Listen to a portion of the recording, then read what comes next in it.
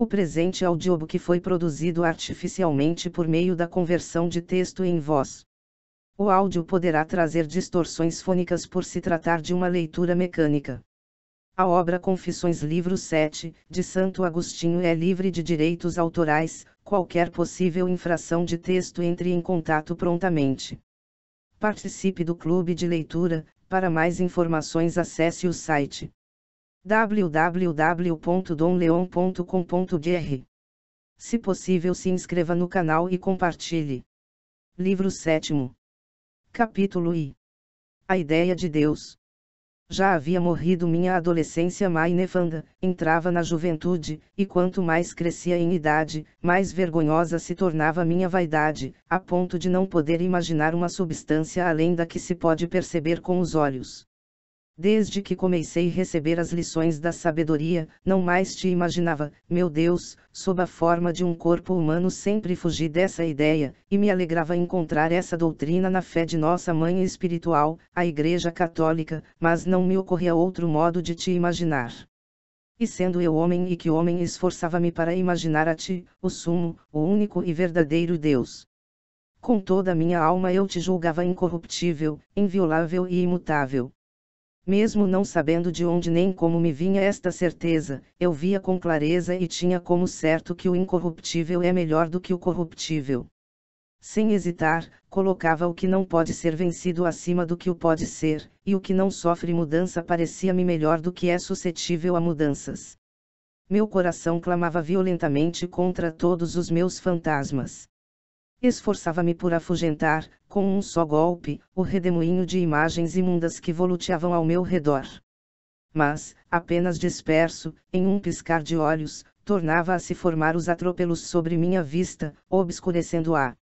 Apesar de não te atribuir uma figura humana, contudo, necessitava te conceber como algo corporal, situado no espaço, quer imanente ao mundo, quer difundido por fora do mundo, através do infinito, tal era o ser incorruptível, inviolável e imutável que eu colocava acima do que é corruptível, sujeito à deterioração e às mudanças. O que não ocupava espaço me parecia um nada absoluto, perfeito, e não um simples vazio, como quando se tira um corpo de um lugar, permanecendo o lugar vazio de todo o corpo, terrestre, úmido, aéreo ou celeste, mas, enfim, um lugar vazio, como que um nada espaçoso. Assim, pois, com o coração pesado, sem consciência clara de mim mesmo, considerava como um perfeito nada tudo o que não tivesse extensão por determinado espaço, ou não se difundisse ou pudesse assumir um desses estados. As formas percorridas por meus olhos eram os moldes das imagens pelas quais andava meu espírito, não via que a mesma faculdade com que formava essas imagens não era da mesma natureza que elas, não obstante não pudesse formá-las se ela não fosse por sua vez algo grande. E também a ti, vida de minha vida, imaginava-te como um ser imenso, penetrando por todas as partes, através dos espaços infinitos, toda a massa do mundo, alastrando-se sem limites na imensidão, de sorte que a terra, o céu e todas as coisas te continham, e tudo isso tinha em ti seu limite, sem que te limitasses em parte alguma. E assim como a massa do ar deste ar que está sobre a terra não impede a passagem da luz do sol, não o impede de a atravessar, de a penetrar sem romper ou cortar, antes enchendo-a totalmente, assim eu pensava que não somente a substância do céu, do ar e do mar, mas também a da terra se deixava atravessar e penetrar por ti em todas as suas partes, grandes e pequenas, que receberiam tua presença, que, com secreta inspiração, governa interior e exteriormente tudo o que criaste. Assim conjeturava eu, por não poder imaginar-te de outra forma, mas minha conjectura era falsa. Porque, se assim fosse, uma porção maior da terra conteria parte maior de ti, e uma porção menor da terra conteria parte menor. E de tal modo estariam as coisas impregnadas de ti, que o corpo de um elefante conteria tanto mais de teu ser que o corpo do passarinho, pois aquele é maior do que este, e ocupa mais espaço. Assim, fragmentado entre as partes do universo, estarias presente nas grandes partes do universo por grandes partes de ti, e nas pequenas por pequenas, o que não acontece. Mas ainda não tinhas iluminado minhas trevas. Capítulo 2 Objeção contra o maniqueísmo. Bastava-me, Senhor, para calar aqueles enganados enganadores e muitos charlatães, pois o que se ouvia de sua boca não era a tua palavra, bastava-me, certamente, o argumento que há muito tempo, estando ainda em Cartago, costumava propor-lhes Nebridio, impressionando a todos os que então o ouvimos. Que poderia fazer contra ti, dizia aquela não sei que raça de trevas, que os maniqueus costumam opor-te como massa hostil se não quisesses lutar contra ela. Se respondessem que te podia ser nociva em algo, então serias violável e corruptível. Se dissessem que não te podia prejudicar nada, não haveria razão para a luta. Luta essa em que uma parte de ti mesmo, um de teus membros, produto de tua própria substância, se misturava às forças adversas, a naturezas não criadas por ti. Assim se corromperia, degradando-se a ponto de mudar sua felicidade em miséria e de necessitar de auxílio para se libertar e purificar. E essa parte de ti seria a alma que teu Verbo devia salvar da escravidão, ele que é livre de impurezas, ele que é imaculado da corrupção, ele que é intacto sem ser corruptível, sendo feito de uma só e mesma substância. E assim, se declaram incorruptível tudo o que és, isto é, a substância que te forma, todas essas proposições são erros execráveis, e se eles te consideram corruptível, essa mesma afirmação também é falsa, e abominável logo à primeira vista. Bastava-me, pois, este argumento contra aqueles que eu queria expulsar de vez de meu peito angustiado. De fato, sentindo e dizendo tais coisas de ti, não tinham outra saída senão um horrível sacrilégio de coração e de língua. Capítulo 3 Deus e o mal. Mas eu, mesmo quando afirmava e cria firmemente que és incorruptível, inalterável, absolutamente imutável, Senhor meu, Deus verdadeiro que não só criaste nossas almas e nossos corpos, e não somente nossas almas e corpos, mas todas as criaturas e todas as coisas Todavia, faltava-me ainda uma explicação, a solução do problema da causa do mal. Qualquer que ela fosse, estava certo de que deveria buscá-la onde não me visse obrigado, por sua causa, a julgar mutável a um Deus imutável, porque isso seria transformar-me no mal que procurava. Por isso, buscava-a com segurança, certo de que era falsidade o que diziam os maniqueus, deles fugia com toda a alma, porque via suas indagações sobre a origem do mal cheias de malícia, preferindo crer que tua substância era passível de sofrer o mal do que a deles ser susceptível de o cometer. Esforçava-me por compreender a tese que ouvira professar, de que o livre-arbítrio da vontade é a causa de praticarmos o mal, e de teu reto juízo é a causa do mal que padecemos mas era incapaz de entendê-lo com clareza. E esforçando-me por afastar desse abismo os olhos do meu espírito, nele me precipitava de novo, e tentando reiteradamente fugir dele, sempre voltava a recair. O fato de eu ter a consciência de possuir uma vontade, como tinha consciência de minha vida, era o que me erguia para a tua luz. Assim, quando queria ou não queria alguma coisa, estava certíssimo de que era eu, e não outro, o que queria ou não queria, e então me convencia de que ali estava a causa do meu pecado. Quanto ao que fazia contra a vontade, notava que isso mais era padecer do mal do que praticá-lo, julgava que isso não era culpa, mas castigo, que me instava a confessar justamente ferido por ti, considerando tua justiça. Mas de novo refletia: quem me criou? Não foi o bom Deus, que não só é bom, mas a própria bondade. De onde, então, me vem essa vontade de querer o mal e de não querer o bem? Seria talvez para que eu sofra as penas merecidas. Quem depositou em mim, e semeou minha alma esta semente de amargura, sendo eu totalmente obra de meu dulcíssimo Deus? Se foi o demônio que me criou, de onde procede ele?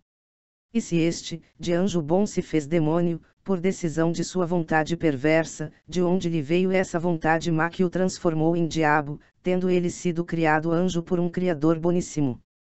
Tais pensamentos de novo me deprimiam e sufocavam, mas não me arrastavam até aquele abismo de erro, onde ninguém te confessa, e onde se antepõe a tese que tu és sujeito ao mal a considerar o homem capaz de o cometer.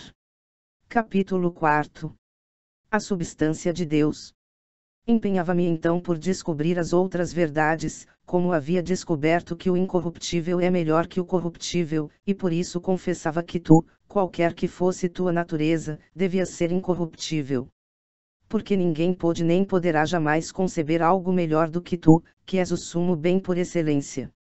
Por isso, sendo certíssimo e inegável que o incorruptível é superior ao corruptível, o que eu já fazia, meu pensamento já poderia conceber algo melhor do que o meu Deus, se não fossas incorruptível. Portanto, logo que vi que o incorruptível deve ser preferido ao corruptível, imediatamente deveria buscar-te no incorruptível, para depois indagar a causa do mal, isto é, a origem da corrupção, que de nenhum modo pode afetar tua substância. É certo que, nem por vontade, nem por necessidade, nem por qualquer acontecimento imprevisto, pode a corrupção afetar nosso Deus, porque Ele é Deus, e não pode querer senão o que é bom, e Ele próprio é o sumo bem, e estar sujeito à corrupção não é nenhum bem tampouco poder ser obrigado, contra a tua vontade, seja o que for, porque tua vontade não é maior do que teu poder. Seria maior caso pudesses ser maior do que és, pois a vontade e o poder de Deus são o mesmo Deus. E que pode haver de imprevisto para ti, se conheces todas as coisas, e se todas elas existem porque as conheces. Mas, por que tantas palavras para demonstrar que a substância de Deus não é corruptível, já que se o fosse não seria Deus? Capítulo V A origem do mal. Eu buscava a origem do mal, mas de modo errôneo, e não via o erro que havia em meu modo de buscá-la. Desfilava diante dos olhos de minha alma toda a criação, tanto o que podemos ver como a terra, o mar, o ar, as estrelas, as árvores e os animais, como o que não podemos ver como o firmamento, e todos os anjos e seres espirituais. Estes, porém, como se também fossem corpóreos, colocados em minha imaginação em seus respectivos lugares. Fiz de tua criação uma espécie de massa imensa, diferenciada em diversos gêneros de corpos, uns, corpos verdadeiros, e espíritos, que eu imaginava como corpos. E eu a imaginava não tão imensa quanto ela era realmente o que seria impossível, mas quanto me agradava, embora limitada por todos os lados. E a ti, Senhor, como a um ser que a rodeava e penetrava por todas as partes, infinito em todas as direções, como se fossas um mar incomensurável, que tivesse dentro de si uma esponja tão grande quanto possível, limitada, e toda embebida, em todas as suas partes, desse imenso mar. Assim é que eu concebia a tua criação finita, cheia de ti, infinito, e dizia: Eis aqui Deus, e eis aqui as coisas que Deus criou. Deus é bom, imenso e infinitamente mais excelente que suas criaturas, e, como é bom, fez boas todas as coisas, e vede como as abraça e penetra. Onde está, pois, o mal? De onde e por onde conseguiu penetrar no mundo? Qual é a sua raiz e sua semente? E se tememos em vão, o próprio temor já é certamente um mal que atormenta e espicaça sem motivo nosso coração, e tanto mais grave quanto é certo que não há razão para temer. Portanto, ou o mal que tememos existe, ou o próprio temor é o mal. De onde, pois, procede o mal se Deus, que é bom, fez boas todas as coisas? Bem superior a todos os bens, o bem supremo, criou sem dúvida bens menores do que ele. De onde, pois, vem o mal? Acaso a matéria de que se serviu para a criação era corrompida e, ao dar-lhe forma e organização, deixou nela algo que não converteu em bem? E por que isto? Acaso, sendo onipotente, não podia mudá-la, transformá-la toda, para que não restasse nela semente do mal? Enfim, porque se utilizou dessa matéria para criar. Porque sua onipotência não a aniquilou totalmente. Poderia ela existir contra sua vontade? É, se é eterna, porque deixou-a existir por tanto tempo no infinito do passado, resolvendo tão tarde servir-se dela para fazer alguma coisa ou, já que quis fazer de súbito alguma coisa, sendo onipotente, não poderia suprimir a matéria, ficando ele só, bem total verdadeiro, sumo e infinito. É, se não era conveniente que, sendo bom, não criasse nem produzisse bem algum, porque não destruiu e aniquilou essa matéria má, criando outra que fosse boa e com a qual plasmar toda a criação porque ele não seria onipotente se não pudesse criar algum bem sem a ajuda dessa matéria que não havia criado. Tais eram os pensamentos de meu pobre coração, oprimido pelos pântanos temores da morte, e sem ter encontrado a verdade. Contudo, arraigava sempre mais em meu coração a fé de teu Cristo, nosso Senhor e Salvador, professada pela Igreja Católica, fé ainda incerta, certamente, em muitos pontos, e como que flutuando fora das normas da doutrina. Minha alma, porém, não a abandonava, e cada dia mais se abraçava a ela. Capítulo 6 O absurdo dos horóscopos. Também já havia rechaçado as enganosas predições e ímpios delírios dos astrólogos. Ainda por isso, meu Deus, quero confessar-te tuas misericórdias desde o mais íntimo de minha alma. Foste tu, e só tu, pois, quem pode afastar-nos da morte do erro, senão a vida que desconhece a morte, a sabedoria que ilumina as pobres inteligências sem precisar de outra luz, e que governa o mundo até as folhas que tremulam nas árvores. Foste tu que medicaste a obstinação com que me opunha ao sábio velho Vindiciano e ao magnânimo jovem Nebridio, que diziam o primeiro, com veemência, o segundo com alguma hesitação, mas frequentemente não existira tal arte de predizer as coisas futuras, e que as conjecturas dos homens muitas vezes têm concurso do acaso e que, de tanto repetir, acertavam em predizer algumas coisas, sem que os mesmos que as diziam o soubessem. Foste tu que me fizeste encontrar um amigo muito afeiçoado a consultar os astrólogos, não entendido nessa ciência, mas que consultava por curiosidade. Conhecia ele uma história, que ouvira do pai, segundo dizia. Ignorava ele até que ponto essa história era valiosa para destruir a autoridade daquela arte. Esse homem, chamado Firmino, educado nas artes liberais e instruído na eloquência, veio me consultar, como amigo íntimo, sobre alguns assuntos nos quais alimentava esperanças mundanas, para ver qual seria meu vaticínio conforme suas constelações, como eles dizem. Eu, que já começara a me inclinar à opinião de Nebridio, embora não me negasse a fazer-lhe o horóscopo e expor-lhe as suas conclusões, acrescentei, contudo, que estava quase persuadido de que tudo aquilo era ridícula quimera. Então, ele me contou que seu pai tinha grande interesse na leitura de tais livros, e que tivera um amigo igualmente apaixonado conversando sobre a matéria, empolgaram-se cada vez mais no estudo daquelas tolices, e chegaram ao ponto de observar os momentos do nascimento até dos animais domésticos, notando a posição das estrelas a fim de coligir dados experimentais daquela pseudo-arte. Firmino me relatava ter ouvido o pai contar que, estando sua mãe para o dar à luz, também estava grávida uma serva daquele amigo de seu pai, coisa que não poderia passar despercebida a seu senhor, que cuidava com extrema diligência e precisão de conhecer até o parto das cadelas.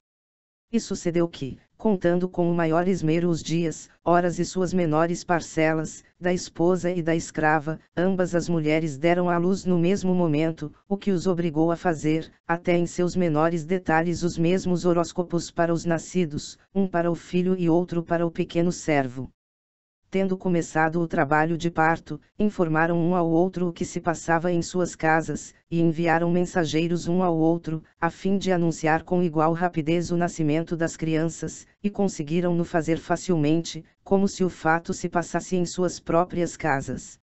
E Firmino contava que os mensageiros que haviam sido enviados vieram a se encontrar à mesma distância de suas respectivas casas, de modo que não se podia notar a menor diferença na posição das estrelas, assim como nas demais frações de tempo. No entanto, Firmino, como filho de grande família, corria pelos mais brilhantes caminhos do mundo, crescia em riquezas e era coberto de honras, ao passo que o escravo, sujeito ainda ao jugo da escravidão, tinha que servir a seus senhores, segundo ele próprio contava, pois o conhecia. Ouvindo essa história, na qual acreditei pelo crédito que merecia seu narrador, toda a minha resistência se quebrou. Esforcei-me em seguida para afastar Firmino daquela vã curiosidade, dizendo-lhe que, pelo seu horóscopo e para ser verdadeiro, deveria certamente considerar a seus pais como os primeiros entre seus concidadãos, o renome da sua família, a mais nobre da cidade, seu nascimento ilustre, sua educação esmerada e seus conhecimentos nas artes liberais. É, pelo contrário, se aquele servo me consultasse sobre o tal horóscopo que era o mesmo de Firmino, se também tivesse de lhe dizer a verdade, deveria ver nos mesmos signos sua família paupérrima, sua condição servil e tantas outras coisas, tão diferentes e opostas às primeiras. Portanto, para dizer a verdade, vendo os mesmos sinais celestes deveria tirar conclusões da verdade, porque fazer prognósticos semelhantes seria mentir. De onde conclui, com toda certeza, que as predições verdadeiras não podem atribuir a uma arte, mas ao acaso, e que as falsas não se devem à ignorância dessa arte, mas à mentira do acaso. Após esta abertura e nela baseado, ruminava dentro de mim três coisas, para que nenhum daqueles loucos que buscam nisso o lucro, e a quem eu então desejava refutar e ridicularizar, não me objetasse que Firmino ou o pai podia ter contado mentiras. Voltei pois minha atenção ao caso dos gêmeos, muitos dos quais saem do seio materno com tão breve intervalo de tempo, que por mais que o pretendam importante, não pode ser apreciado pela observação humana, nem pode ser considerado nos signos que o astrólogo lançará mão para fazer uma previsão certa. Mas os vaticínios não serão verdadeiros, pois, vendo os mesmos signos, deveria predizer a mesma sorte para Esaú e Jacó, sendo que os sucessos da vida de ambos foram muito diversos. O astrólogo, portanto, deveria prognosticar coisas falsas, ou, no caso de falar coisas verdadeiras, estas forçosamente deveriam ser diferentes, a despeito da identidade das observações. Logo, se seus prognósticos fossem verdadeiros, não o seriam por efeito da arte, mas do acaso. Porque tu, Senhor, governador justíssimo do universo, por inspiração secreta, desconhecida dos consulentes e astrólogos, fezes que cada um ouça a resposta que lhe convém, de acordo com os méritos das almas, do fundo do abismo de teu justo juízo. E que o homem não se atreva a dizer, que é isto. Porque isto? Não o diga, não o diga, porque é um simples homem. Capítulo 7 Ainda a origem do mal. Deste modo, ó meu auxílio, já me havias libertado daqueles grilhões. Contudo, eu buscava ainda a origem do mal, e não encontrava solução. Mas não permitias que as vagas de meu pensamento me apartassem da fé fé na tua existência, na tua substância imutável, na tua providência para os homens, e na tua justiça que os julgará. Já acreditava que traçaste o caminho da salvação dos homens, rumo à vida que sobrevém depois da morte, em Cristo, teu Filho e Senhor nosso, e nas sagradas Escrituras, recomendadas pela autoridade de tua Igreja Católica. Salvas e fortemente arraigadas estas verdades em meu espírito, buscava eu ansiosamente a origem do mal. E que tormentos, como que de parto, eram aqueles de meu coração. Que gemidos, meu Deus! E ali estavam teus ouvidos atentos, e eu não o sabia. Quando, em silêncio, me esforçava em pacientes buscas, altos clamores se elevavam até tua misericórdia, eram as silenciosas angústias de minha alma. Tu só sabes o que eu padecia, mas homem algum o sabia. De fato, quão pouco era o que minha palavra transmitia aos meus amigos mais íntimos. Chegava, porventura, a eles o tumulto de minha alma, que nem o tempo, nem as palavras bastavam para declarar. Contudo, chegavam a teus ouvidos as queixas que em meu coração rugiam, e meu desejo estava diante de ti, mas a luz de meus olhos não estava contigo, porque ela estava dentro, e eu olhava para fora. Ela não ocupava espaço algum, e eu só pensava nas coisas que ocupam lugar, e não achava nelas lugar de descanso, nem me acolhiam de modo que pudesse dizer: basta, aqui estou bem. Nem me permitiam que eu fosse para onde me sentisse satisfeito. Eu era superior a estas coisas, mas sempre inferior a ti. Serias minha verdadeira alegria se eu te fosse submisso, pois sujeitasse a mim tudo o que criaste inferior a mim. Tal seria o justo equilíbrio e a região central de minha salvação, permanecer como imagem tua, e servindo-te, ser o Senhor de meu corpo. Mas, como me levantei soberbamente contra ti, investindo contra meu Senhor coberto com o escudo de minha dura cerviz, até mesmo as criaturas inferiores se fizeram superiores a mim, e me oprimiam, e não me davam um momento de alívio e de descanso. Quando as olhava, elas me vinham ao encontro atabalhoadamente de todos os lados, mas quando nelas me concentrava, tais imagens corporais me barravam para que me retirasse, como se me dissessem: Para onde vais, indigno e impuro? E estas recobravam forças com a minha chaga, porque humilhaste o soberbo como a um homem ferido. Minha presunção me separava de ti, e meu rosto de tão inchado, fechava meus olhos. Capítulo 8 A piedade de Deus. Mas tu, Senhor, permaneces eternamente, e não te aiareis eternamente contra nós, porque te compadeceste da terra e do pó, e foi de teu agrado corrigir minhas deformidades. Tu me aguilhoavas com estímulos interiores para que estivesse impaciente, até que por uma visão interior, te tornasses para mim uma certeza. O inchaço de meu orgulho baixava graças à mão secreta de tua medicina, a vista de minha alma, perturbada e obscurecida, ia sarando dia a dia graças ao colírio das dores salutares. Capítulo 9 Agostinho e o Neoplatonismo Primeiramente, querendo tu mostrar-me como resistes aos soberbos e das tua graça aos humildes, e com quanta misericórdia ensinaste aos homens o caminho da humildade, por se ter feito carne teu verbo, e ter habitado entre os homens, me fizeste chegar às mãos por meio de um homem inchado de monstruoso orgulho, alguns livros dos platônicos, traduzidos do grego para o latim. Neles eu li não com estas palavras, mas substancialmente o mesmo e expresso com muitos e diversos argumentos que no princípio era o Verbo, e o Verbo estava com Deus, e o Verbo era Deus. Este estava desde o princípio em Deus. Todas as coisas foram feitas por ele, e sem ele nada foi feito do que foi feito. O que foi feito é vida nele, e a vida era a luz dos homens. A luz brilha nas trevas, mas as trevas não a compreenderão. Diziam também que a alma do homem, embora dê testemunho da luz, não é a luz, mas o Verbo, Deus, é a verdadeira luz, que ilumina a todo homem que vem a este mundo. E que neste mundo estava, e que o mundo é criatura sua, e que o mundo não o conheceu e que ele veio para sua morada, e que os seus não o receberam, e que a quantos o receberam deu o poder de se fazerem filhos de Deus, desde que acreditem em seu nome, isto não o li nesses livros. Também neles li que o Verbo, Deus, não nasceu da carne nem do sangue, nem da vontade do varão, mas de Deus. Mas que o Verbo se fez carne, e habitou entre nós, isso não o li naqueles livros. Igualmente achei nesses livros, dito de diversos e múltiplos modos, que o Filho, consubstancial ao Pai, não considerou usurpação ser igual a Deus, porque o é por natureza.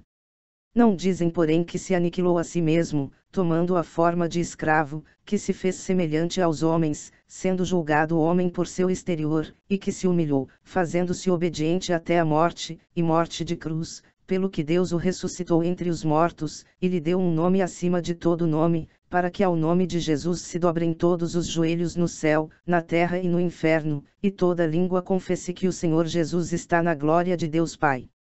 Neles se diz também que antes e sobre todos os tempos, teu Filho único permanece imutável, eterno consigo, e que de sua plenitude recebem as almas para sua bem-aventurança e que, para serem sábias, são renovadas participando da sabedoria que permanece em si mesma. Mas não se encontra escrito ali que morreu, no tempo marcado, pelos ímpios, e que não perdoaste a teu filho único, mas que o entregaste por todos nós. Porque escondeste estas coisas aos sábios e as revelastes aos humildes, a fim de que os atribulados e sobrecarregados viessem a ele, para que os reconfortasse, porque ele é manso e humilde de coração dirige os pequenos na justiça e ensina aos manos o seu caminho, vendo nossa humildade e nosso trabalho, e perdoando todos os nossos pecados. Mas aqueles que, erguendo-se sobre uma doutrina, digamos, mais sublime, não ouvem ao que lhes diz, aprendei de mim que sou manso e humilde de coração, e encontrareis descanso para vossas almas e ainda que conheçam a Deus, não o glorificam como Deus, nem lhe dão graças, mas se desvanecem em seus pensamentos, e seu coração insensato se obscurece, e dizendo que são sábios, se tornam estultos. E por isso lia também nesses livros que a glória de tua natureza incorruptível havia sido transformada em ídolos e simulacros de todo tipo, à semelhança da imagem do homem corruptível, das aves, dos quadrúpedes e serpentes isto é, naquele alimento do Egito pelo qual Esaú perdeu sua primogenitura. Israel, teu povo primogênito, voltando o coração para o Egito, honrou em teu lugar a cabeça de um quadrúpede, curvando tua imagem, isto é, a própria alma, diante da imagem de um bezerro comendo feno. É o que encontrei nesses livros, mas delas não me alimentei, porque agradou-te, Senhor, tirar de Jacó o opróbrio de sua inferioridade, para que o maior servisse ao menor, chamando os gentios para a tua herança. Também eu vinha dentre os gentios para ti, e interessei-me pelo ouro que, por tua vontade, teu povo trouxera do Egito, pois era teu onde quer que estivesse. E disseste aos atenienses, por boca de teu apóstolo, que em ti vivemos, nos movemos e temos nosso ser, como alguns deles o disseram, e é deles que vinham os livros que me ocupavam. Mas não me fixei nos ídolos dos egípcios, aos quais sacrificavam, com teu ouro, os que mudaram a verdade de Deus em mentira, adorando e servindo ante a criatura do que ao Criador.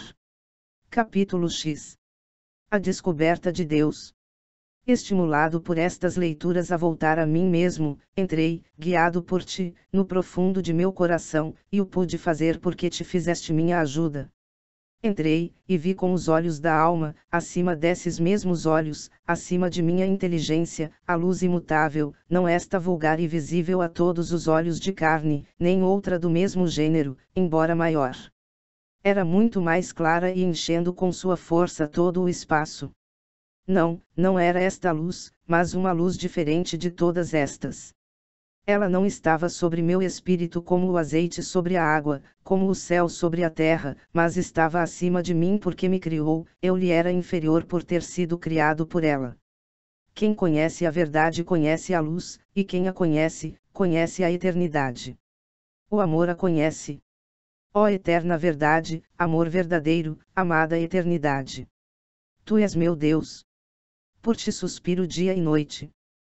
Quando te conheci pela primeira vez, ergueste-me para me fazer ver que havia algo para ser visto, mas que eu ainda era incapaz de ver.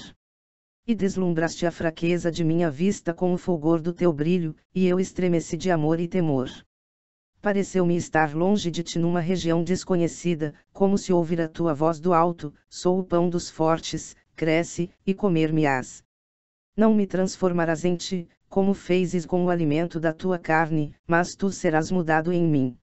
E conheci então que castigaste o homem por causa de sua iniquidade, e que secaste minha alma como uma teia de aranha, e eu disse: porventura não existe a verdade, por não ser difusa pelos espaços finitos e infinitos. E tu me gritaste de longe: na verdade, eu sou o que sou. E eu ouvi como se ouve no coração, sem deixar motivo para dúvidas, antes, mais facilmente duvidaria de minha vida que da existência da verdade, que se manifesta a inteligência pelas coisas da criação. Capítulo 11 Deus e as criaturas. E contemplei as outras coisas que estão abaixo de ti, e vi que nem existem absolutamente, e nem absolutamente deixam de existir. Certamente existem, porque procedem de ti, mas não existem, pois, não são o que tu és, porque só existe verdadeiramente o que permanece imutável. Com isso, para mim é bom apegar-me a Deus, porque, se não permanecer nele, tampouco poderei permanecer em mim. Ele, porém, permanecendo em si, renova todas as coisas, e tu és o meu Senhor, porque não necessitas de meus bens. Capítulo 12 O mal e o bem da criação também pode entender que são boas as coisas que se corrompem. Se fossem sumamente boas, não poderiam se corromper, como tampouco o poderiam se não fossem boas de algum modo. Com efeito, se fossem sumamente boas, seriam incorruptíveis, e se não tivessem nenhuma bondade, nada haveria nelas que se pudesse corromper. Porque a corrupção é um mal, e não poderia ser nociva se não diminuísse o bem real. Logo, ou a corrupção é inofensiva, o que é impossível, ou, o que é certo, tudo o que se corrompe é privado de algum bem. E assim, se algo for privado de todo o bem, deixará totalmente de existir. E se algo subsistisse sem já poder ser corrompido, seria ainda melhor, porque permaneceria incorruptível. E haverá maior absurdo do que afirmar que uma coisa se torna melhor pela perda de todo o bem. Logo, ser privado de todo o bem é um nada absoluto. De onde se segue que, enquanto as coisas existem, elas são boas. Portanto, tudo o que existe é bom, e o mal, cuja origem eu procurava, não é uma substância, porque se o fosse seria um bem. De fato, ou ele seria substância incorruptível, e portanto um grande bem, ou seria uma substância corruptível, que se não se poderia corromper se não fosse boa. Vi, pois, e foi para mim evidente, que tu irás o autor de todos os bens, e que não há em absoluto substância alguma que não tenha sido criada por ti. E como não as fizeste todas iguais, todas as coisas existem, porque cada uma por si é boa, e todas juntas muito boas, porque nosso Deus fez todas as coisas muito boas. Capítulo 13 Os louvores da criação. E para ti, Senhor, não existe absolutamente o mal, e nem para a universalidade da tua criação, porque nada existe fora dela, capaz de romper ou de corromper a ordem que tu lhe impuseste. Todavia, em algumas de suas partes, determinados elementos não se harmonizam com outros, e estes são considerados maus. Mas, como esses mesmos elementos combinam com outros, são da mesma forma bons, e bons em si mesmos. E mesmo esses elementos que não concordam entre si se harmonizam com a parte inferior das criaturas que chamamos terra, com seu céu cheio de nuvens e de ventos, como lhe é conveniente. Longe de mim dizer, oxalá não existissem estas coisas. Embora, considerando-as separadamente, eu as desejasse melhores, somente o fato de existirem deveria bastar para eu te louvar porque eu proclamam os dragões da terra e todos os abismos, o fogo, o granizo, a neve, o vento da tempestade, que executam tuas ordens, os montes e todas as colinas, as árvores frutíferas e todos os cedros, as feras e todos os gados, os répteis e todas as aves, os reis da terra e todos os povos, os príncipes e todos os juízes da terra, os jovens e as virgens, os anciões e as crianças, todos louvam teu nome. Mas como também do alto dos céus é louvado, que seja louvado o nosso Deus, lá no alto por todos os teus anjos, todas as potestades, o sol e a lua, todas as estrelas e a luz, os céus dos céus, e as águas que estão sobre os céus glorificam teu nome, eu já não desejava nada melhor, porque, considerando o todo, os elementos superiores me pareciam sem dúvida melhores que os inferiores, mas um julgamento mais sadio me fazia considerar o todo melhor que os elementos superiores tomados à parte. Capítulo 14 Recapitulação não tem juízo sadio, nos que se desagradam com alguma parte de tua criação, como acontecia comigo, quando me desagradavam tantas de tuas obras. Mas, como minha alma não se atrevia a desgostar do meu Deus, não queria considerar como obra tua o que lhe desagradava.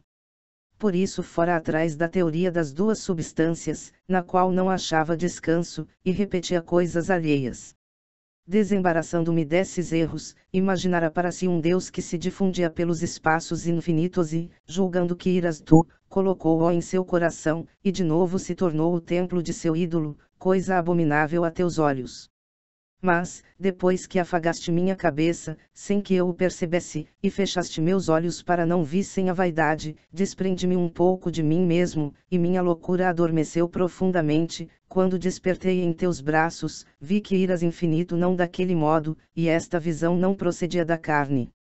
Capítulo 15 Deus e a Criação Contemplei depois as outras coisas, e vi que deviam a ti sua existência, e que todas estão contidas em ti, não como em um lugar material, mas de modo diferente, conservas todas elas em tua verdade, sustentadas na tua mão, todas as coisas são verdadeiras enquanto existem, e só é falso o que julgamos existir, mas não existe. Também vi que cada coisa adapta-se não só a seus lugares, mas também a seus tempos, e que tu, que és o único eterno, não começaste a agir depois de infinitos espaços de tempos, porque todos os espaços de tempo passados ou futuros não teriam passado nem viriam se tu não agistes e não fossas permanente. Capítulo 16 Onde está o mal? Entendi por experiência que não é de admirar que o pão seja enjoativo ao paladar enfermo, mesmo tão agradável para o paladar sadio, e que olhos enfermos considerem odiosa a luz, que para os límpidos é tão cara. Se tua justiça desagrada aos maus, muito mais desagradam a víbora e o caruncho, que criaste bons e adaptados à parte inferior da tua criação, com a qual também os maus se assemelham, tanto mais quanto mais diferem de ti, assim como os justos se assemelham às partes superiores do mundo na medida em que se assemelham a ti. Indaguei o que era a iniquidade, e não achei substância, mas a perversão de uma vontade que se afasta da suprema substância, de ti, meu Deus, e se inclina para as coisas baixas, e que derrama suas entranhas, e se intumesce exteriormente. Capítulo 17 Caminho para Deus. Admirava-me de já te amar, e não há um fantasma em teu lugar, mas não era estável no gozo de meu Deus era arrebatado a ti por tua beleza, e logo afastado de ti pelo meu peso, que me precipitava sobre a terra a gemer. Meu peso eram os hábitos carnais. Mas tua lembrança me acompanhava. Nem absolutamente duvidava da existência de um ser a quem eu devia me unir, embora não estivesse apto para esta união, porque o corpo, que se corrompe, sobrecarrega a alma, e a morada terrena oprime o espírito carregado de cuidados. Estava certíssimo de que tuas belezas invisíveis se descobrem à inteligência desde a criação do universo, por meio de tuas obras, bem como teu poder eterno e tua divindade. Buscava saber de onde me vinha minha faculdade de apreciar a beleza dos corpos quer celestes, quer terrenos e o que me permitia julgar rápida e cabalmente das coisas mutáveis quando dizia, isto deve ser assim, aquilo não deve ser assim procurando a origem de minha faculdade de julgar quando assim julgava, achei a eternidade imutável e verdadeira, acima de meu espírito mutável. É, gradualmente, fui subindo dos corpos para a alma, que sente por meio do corpo, e dela a sua força interior, a qual os sentidos comunicam às coisas exteriores, que é o limite alcançado pelos animais. Daqui passei para o poder do raciocínio, ao qual cabe julgar as percepções dos sentidos corporais, por sua vez, julgando-se sujeito a mudanças, levantou-se até a sua própria inteligência, e afastou o pensamento de suas cogitações habituais. Livrou-se da multidão de fantasmas contraditórios, para descobrir que luz a inundava quando, sem nenhuma dúvida, afirmava que o imutável deve ser preferido ao mutável, e também de onde lhe vinha o conhecimento do próprio imutável, porque, se não tivesse dele alguma noção, nunca o preferiria ao mutável com tanta certeza. É, finalmente, chegou aquele que é um único lampejo. Foi então que tuas perfeições invisíveis se manifestaram à minha inteligência por meio de tuas obras. Mas não pude fixar nelas meu olhar, minha fraqueza se recobrou, e voltei a meus hábitos, não levando comigo senão uma lembrança amorosa e, por assim dizer, o desejo do perfume do alimento saboroso que eu ainda não podia comer. Capítulo 18 A senda da humildade buscava um meio que me desse força necessária para gozar de ti, e não a encontrei enquanto não me abracei ao mediador entre Deus e os homens, o homem Cristo Jesus, que está sobre todas as coisas, Deus bendito por todos os séculos, que chama e diz: Eu sou o caminho, a verdade e a vida. Ele une o alimento à carne, alimento que eu não tinha forças para tomar, porque o Verbo se fez carne, para que tua sabedoria, pela qual criaste todas as coisas, fosse o leite de nossa infância. Não tendo humildade, eu não possuía Jesus, o Deus da humildade, e não atinava o que nos poderia ensinar sua fraqueza.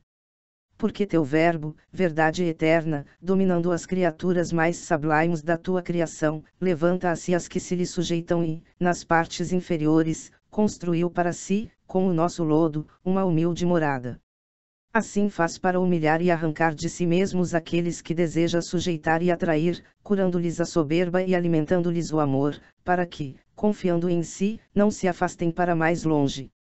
Pelo contrário, que se humilhem, vendo a seus pés a humildade de um Deus que também se vestiu de nossa túnica de carne, e cansados, se prostrem diante dela para que, ao se levantar, os exalte. Capítulo 19 A doutrina do Verbo mas eu então julgava de outro modo. Considerava meu Senhor Jesus Cristo apenas um homem de extraordinária sabedoria, a quem ninguém poderia igualar. Sobretudo seu miraculoso nascimento de uma virgem, que nos ensina a desprezar os bens temporais para adquirir a imortalidade. Parecia-me ter merecido, por decreto da providência divina, uma soberana autoridade para ensinar os homens mas nem suspeitava o mistério que se encerra nestas palavras: o Verbo se fez carne. Somente conhecia, pelas coisas que dele nos deixaram escritas, que comeu, bebeu, dormiu, passeou, que se alegrou, se entristeceu e pregou, e que essa carne não se juntou a teu verbo senão com alma e inteligência humanas. Tudo isso sabe quem conhece a imutabilidade de teu verbo, que eu já conhecia quanto me era possível, sem que disso nada duvidasse. Com efeito, mover os membros do corpo à vontade, ou não movê-los, estar dominado por algum afeto ou não o estar, traduzir por palavras sábios pensamentos e depois calar, são caracteres próprios da mutabilidade da alma e da inteligência. Se esses testemunhos das Escrituras fossem falsos, tudo o mais correria o risco de ser mentira, e o gênero humano não teria mais nesses livros a fé, condição de salvação. Mas como são verdadeiras as coisas nela escritas, eu reconhecia em Cristo um homem completo, não somente o corpo de um homem, ou um corpo sem uma alma inteligente, mas um homem real, que eu julgava superior a todos os outros não por ser a personificação da verdade, mas em razão da singular excelência de sua natureza humana, e de uma mais perfeita participação na sabedoria. Alípio porém pensava que os católicos, crendo em um Deus revestido de carne, entendiam quem eu em Cristo, além de Deus e da carne, não havia alma humana, e não julgava que lhe atribuíssem inteligência humana. E como estava bem persuadido de que os atos atribuídos tradicionalmente a Cristo não podiam ser senão obras de uma criatura cheia de vida e de inteligência, Alípio se aproximava com certa relutância da fé cristã. Mas depois, ao saber que este erro era próprio dos hereges apolinaristas, aderiu alegremente à fé católica. De minha parte, confesso que só aprendi mais tarde a diferença de interpretação das palavras o Verbo se fez carne, entre a verdade católica e o erro do Fotino, bispo de Sirmio, afirmava que o Verbo não havia sido filho de Deus até encarnar-se nas entranhas da Virgem Maria, negando toda a união substancial entre a natureza humana e o Verbo divino. A reprovação dos hereges põe às claras o pensamento da tua igreja e o que esta considera como doutrina sã. Convém, pois, que haja heresias, para que os fortes se distingam entre os fracos. Capítulo XX Do Platonismo às Escrituras. Depois de ter lido aqueles livros dos platônicos, induzido por eles a buscar a verdade incorpórea, começaram a se tornarem patentes, por meio de tuas obras, tuas perfeições visíveis repelido para longe de ti, compreendi em que consistia essa verdade, que as trevas de minha alma me impediam de contemplar. Estava certo de tua existência e de que és infinito, sem contudo te estenderes por espaços finitos ou infinitos, e de que és verdadeiramente aquele que é sempre idêntico a si mesmo, sem te mudares em outro, nem sofrer alteração alguma, quer parcialmente ou com algum movimento, quer de qualquer outro modo, e de que tudo o mais vem de ti, pela única e irrefutável razão de que existe. Tinha certeza de todas estas verdades, mas me achava ainda demasiado fraco para gozar de ti. Tagarelava muito, como se fora competente nisso, mas se não procurasse o caminho da verdade em Cristo, nosso Salvador, não seria perito, mas perituro. Já começava a querer parecer sábio, cheio de meu castigo, e não chorava, mas orgulhava-me com a ciência. Onde estava aquela caridade erigida sobre o alicerce da humildade, que é Cristo Jesus? Ou talvez me a ensinariam aqueles livros. Creio que quisiste que com eles me encontrasse antes de meditar nas tuas escrituras, para que fixassem em minha memória os afetos que nela experimentei. Depois, quando encontrasse em teus livros a paz do coração, sarada com tuas mãos as feridas de minha alma, pudesse discernir e perceber a diferença entre presunção e humildade, entre os que veem para onde se deve ir, e não veem por onde se vai, nem o caminho que conduz à pátria bem-aventurada, não só para contemplá-la, mas também para habitá-la.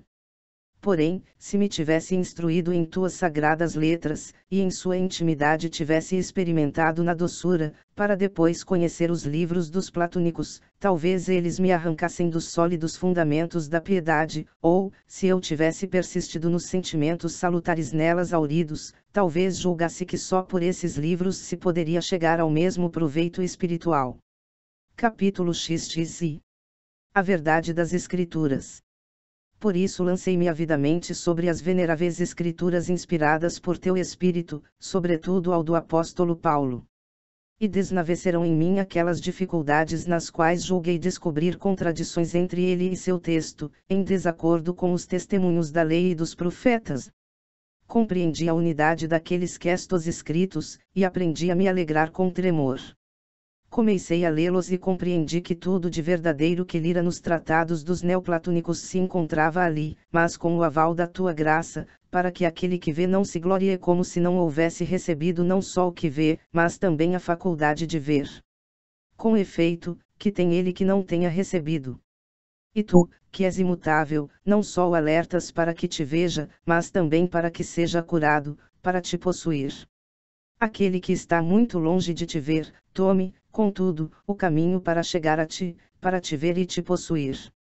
Porque, embora o homem se deleite com a lei de Deus, segundo o homem interior, que fará dessa outra lei que luta em seus membros contra a lei de seu espírito, e que o prende sob a lei do pecado, impressa em seus membros. Porque tu és justo, Senhor, nós, porém, pecamos, cometemos iniquidades, procedemos como ímpios, e tua mão se fez pesada sobre nós, e é com justiça que fomos entregues ao pecador antigo, ao príncipe da morte, porque ele persuadiu nossa vontade a se conformar à sua, que não quis persistir com tua verdade. Que fará esse homem infeliz? Quem o livrará deste corpo de morte, senão tua graça, por Jesus Cristo, nosso Senhor, a quem tu geraste coeterno e criaste no princípio de teus caminhos, ele, em quem o príncipe deste mundo não achou nada que merecesse a morte, e a quem, contudo, matou. Com o que foi anulada a sentença que havia contra nós. Nada disso dizem os livros platônicos nem tem naquelas páginas esse sentimento de piedade, as lágrimas da confissão, esse teu sacrifício, a alma abatida, esse coração contrito e humilhado, nem a salvação de teu povo, nem a cidade prometida, nem o penhor do Espírito Santo, nem o cálice de nossa redenção. Nos livros platônicos ninguém canta, minha alma não estará sujeita a Deus. Porque dele procede minha salvação, pois é meu Deus e meu amparo, do qual não mais me apartarei. Ninguém ali ouviu o convite, vinde a mim os que sofres. Desdenham teus ensinamentos, porque és manso e humilde de coração. Porque escondeste estas coisas dos sábios e doutos, e as revelaste aos pequeninos. Uma coisa é ver de um monte agreste a pátria da paz, e não encontrar o caminho que conduz a ela, e fatigar-se debalde por lugares inacessíveis, entre ataques e emboscadas dos desertores fugitivos, com seu chefe, o leão e o dragão, e outra coisa é conhecer o caminho que conduz até lá, defendido pelos cuidados do imperador celeste, e onde não roubam os desertores da milícia do céu, pois eles o evitam como um suplício. Esses pensamentos penetravam-me as entranhas de modo maravilhoso, quando eu lia o menor de teus apóstolos. Considerava tuas obras e enchia-me de assombro. O presente audiobook foi produzido artificialmente por meio da conversão de texto em voz. O áudio poderá trazer distorções fônicas por se tratar de uma leitura mecânica. A obra Confissões Livro 7, de Santo Agostinho é livre de direitos autorais, qualquer possível infração de texto entre em contato prontamente. Participe do clube de leitura, para mais informações acesse o site www.domleon.com.br. Se possível se inscreva no canal e compartilhe.